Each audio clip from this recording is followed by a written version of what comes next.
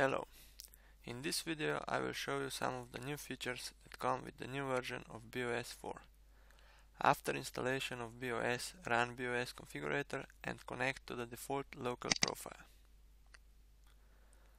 The first thing you will probably notice is the new look of BOS config. New buttons, new icons, new configuration tree with two new nodes, general and areas.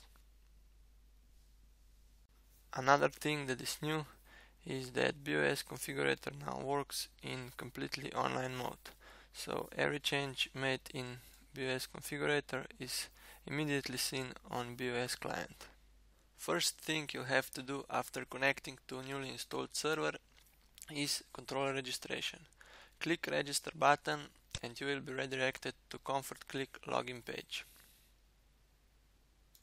Log in with username and password for ComfortClick site. If you don't have an account, please register. After successful login, enter server name and access ID.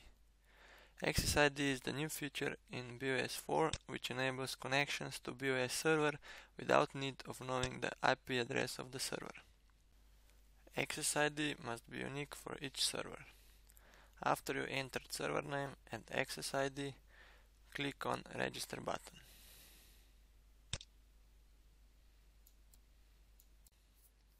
Now when we successfully registered a controller, we can close the web page and log out to see how Access ID works.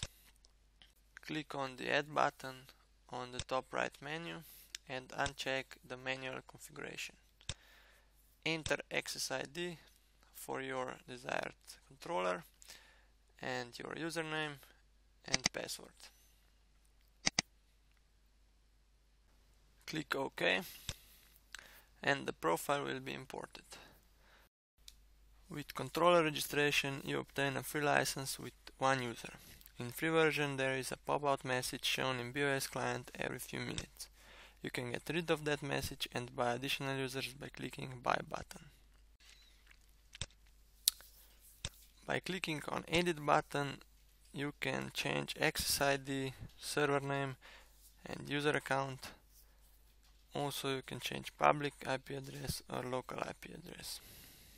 New toolbar now contains backup and restore functions to save or open whole configuration including templates, files and data logs. To restore a configuration click on restore button and select desired configuration. The configuration is restored with all the devices, tasks, themes templates and files. You can also export only individual nodes by right-clicking on the desired node and selecting export. So that's how I exported KNX node and if I delete the KNX node I can import it back by clicking import button, selecting exported file and clicking add devices add and here it is my KNX node with all the subnodes.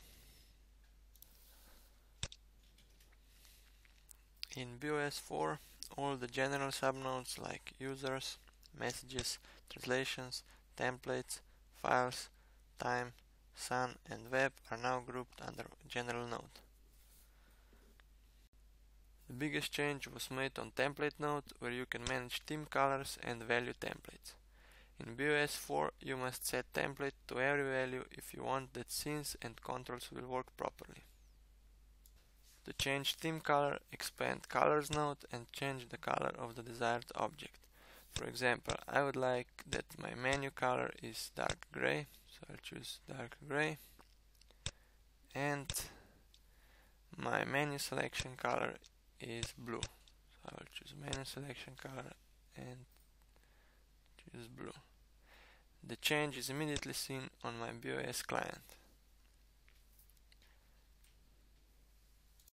I would also like to change the default color for my buttons. So I click button and change the color to dark gray and the color for my lamp buttons. So I click on lamp and change the color for my lamp buttons.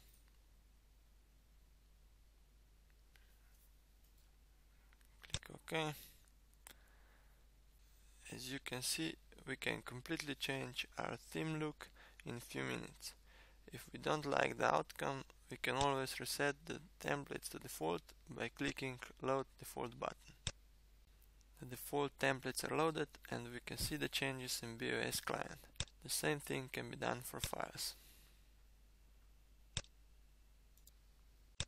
As I said before, it's important to set templates to every value. Default templates already contain some of the most used value definitions for boolean, integer and double values. If that's not enough for you, you can create your own ones.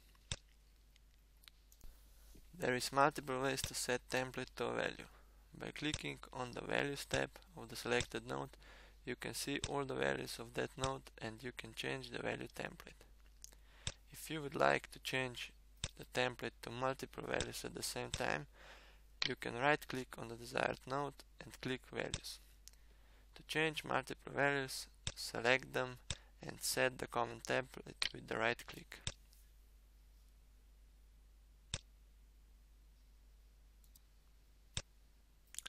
We also improved our KNX ETS import form. Now you can easily select multiple group addresses and change their value types with the right click.